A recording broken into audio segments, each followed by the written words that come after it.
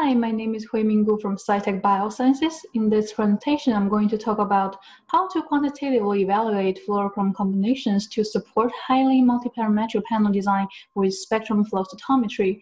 Since I'm going to talk about spectrum flow cytometry and some of you might not be so familiar with this method, I'm going to start with a brief overview of what is this full spectrum approach.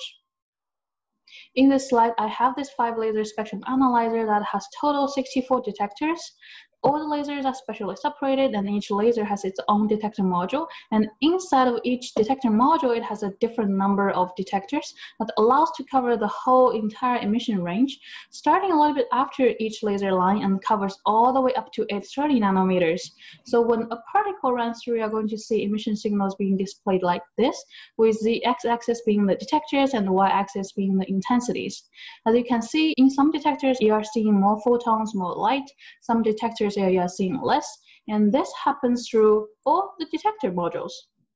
So what the software does next is to stitch these five pieces of information together to form a unique signature for each fluorochrome.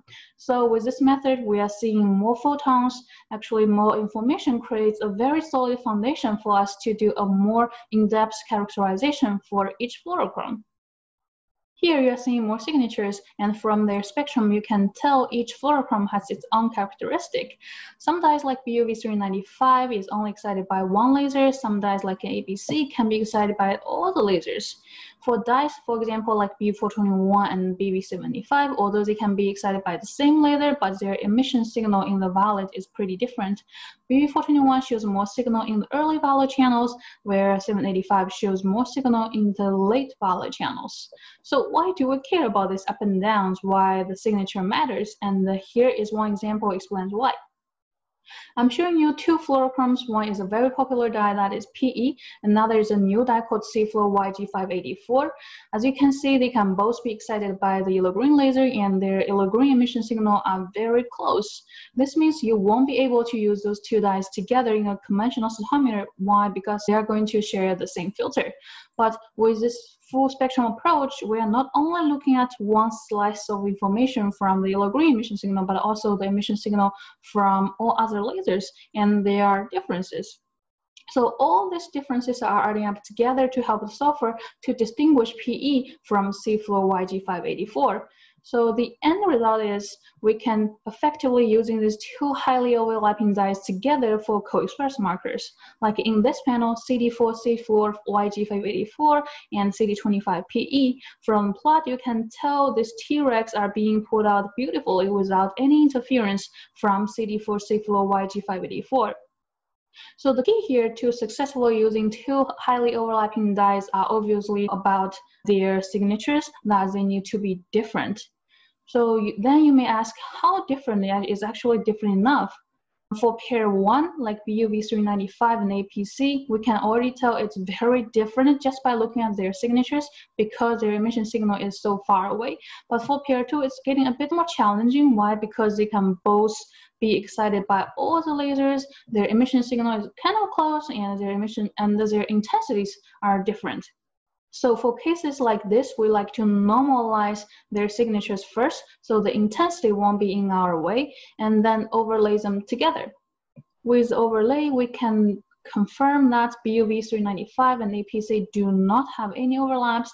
And for pair 2, yes, these two dyes are closer, but there are many sections of the signatures are different. So in these two cases, normalized spectrum overlay actually allows us to answer this question. But let's look at more examples in these four pairs, yeah, well, obviously it's getting more difficult.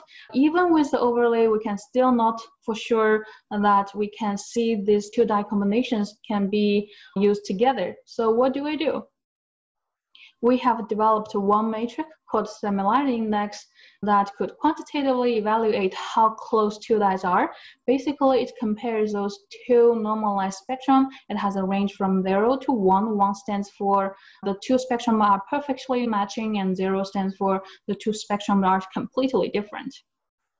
The color coding looks like this. White is 0, dark blue is 1. And for pen design, you want to select a more unique set of dyes to work with. On the right, I'm showing you the normalized spectrum for pair one and pair two again. For pair one, again, visually, we already know there are no overlaps between these two dyes. So not surprisingly, the similarity index between these two dyes is zero. And for pair two, because these two dyes are closer, and then the similarity index between them is also higher, it went up to 0.86.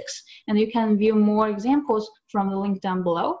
Okay, so now we have a specific number to tell us how close two dyes are. And to make this number more meaningful, we always like to correlate the number with some biological data so you have a better visual clue. Here, I'm showing you some merged single stain CD4s. For pair one, similarity index being zero, you can see how well-rounded the population look like. And for pair two, pair three, as the similarity index went higher, my positive population also got wider and more elliptical looking. So, but the resolution and the, the separation is still there for pair 4, my similarity index went up to 1, and you can see how distorted the populations look like. And actually, we have tested more than 200 fluorochromes, and from our experience, if those two dyes have a similarity index that is below than 0.98, that will mean you can use those two dyes together. And pair 3 is our cutoff example. But please remember if you are going to utilize these two dyes that have such high similarity index, a good panel design is still required. And here are some real biological data. So through panel design, we are able to use these close dyes together. So based on their similarity index, you can either assign co-expressed or non-co-expressed markers for them. For example, for pair 6, BV421 and the superbright 436 are paired with non-co-expressed markers. Although despite they have such high similarity index, these two markers, CCR7 and CD123, are both resolved very well.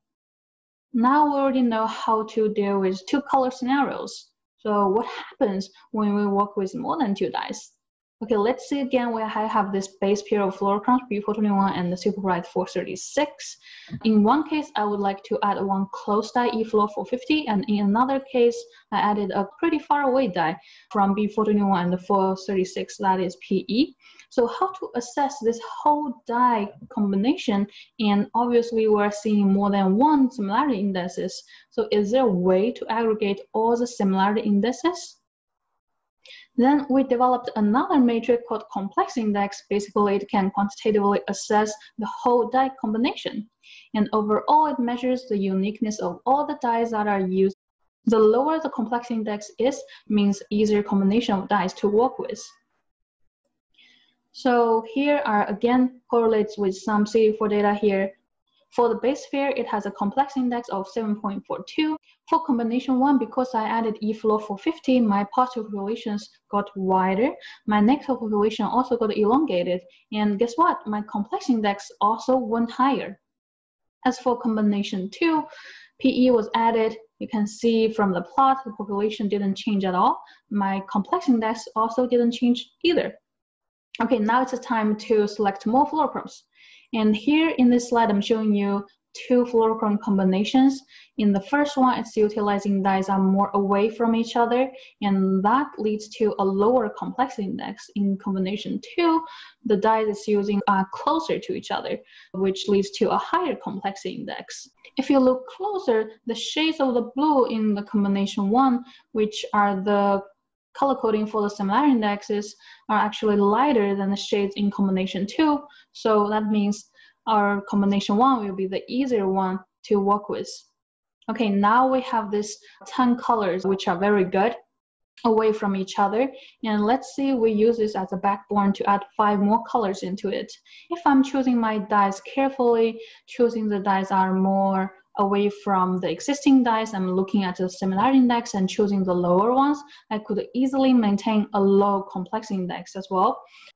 On the other hand, if I'm just throwing random dice into this original panel and I could easily end up using very close dice together and that can be also indicated by this high similarity indices. And please expect to see a higher complex index as well. So if you use this panel, you are also going to face more challenges to get better resolution out of it. Now let me show you what would happen, what you will see in your biological data if you try to use very close dyes together. One way to assess if a dye combination is working successfully is actually to look at the negative populations because the negative cells tells you how much spread you have in your panel. And for easier understanding, I'm going to go back to two color scenario.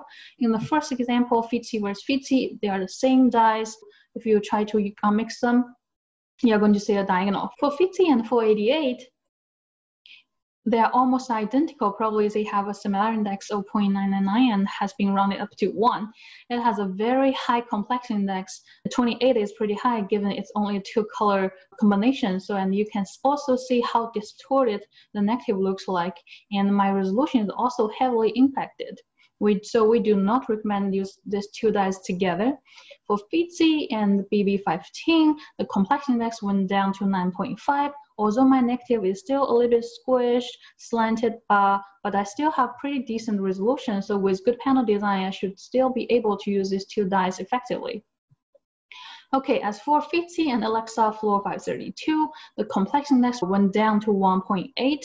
Not too much to worry about here. FITC and APC, it went down to 1.1.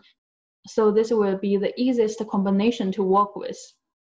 In the last two cases, you can see how well-rounded the population, the negative populations look like. So our goal is to maintain a good looking of the negative cells. So that also translated to maintain a low complex index for the whole panel. So by now we should already have selected a very good dye combination that has very little spillover into each other. So what's the other considerations for panel design? One of them will be the dye brightness. In this slide, I'm showing you the stain index ranking for total 70 fluorochromes that are stained with anti-human CD4s. With knowing this information, that helps you to pair the dye brightness with the antigen expression level so that you can ensure each antigen can be resolved well. So besides the brightness, we also need to take care of the spreading. But how to quantify the spread? Actually, the basic spectrum already tells you a lot. If you overlay them, you can see they are heavily overlapping that will translate to a higher similarity index and also a higher complex index. This we already know from previous slides. But if you look closer into the statistics of the normalized spectrum, you are going to see, let's see if these two dyes share the same brightness, BB15 actually has 14% more spillover into FITC and how does this translate to the biological data? And in this CD4 plot, you can see because B15 has more spillover into FITC and it's brighter, you can see the SSM value from BB15 into FITC is higher than the SSM value from FITC to BB15. So with knowing this spreading information that actually guided us to pair BB15 with a lower express antigen and pair FITC with probably medium express antigen and those two markers better not to be co-expressed. In, in, in the right, I'm showing you the real biological data. In this panel, CD57 FITC and the CD141 BB15 are both resolved very well. And finally, here's one example where it considers the fluorochrome selection and panel design strategies I just talked about. So we are able to combine lots of fluorochromes, lots of markers, and most importantly, each marker is resolved very well. And that's the whole story. Thank you so much for your attention.